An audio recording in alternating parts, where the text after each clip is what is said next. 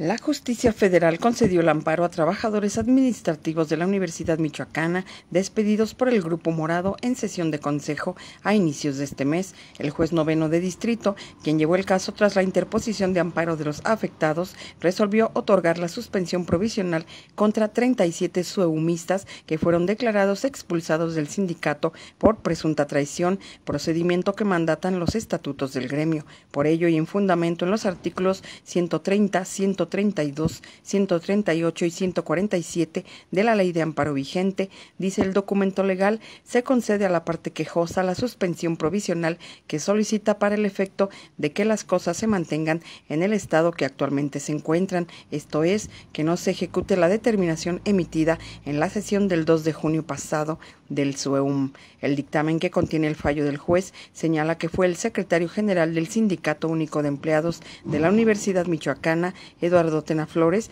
a través del cual se ordenó la expulsión de los aquí quejosos. Teresa de la Torre, respuesta.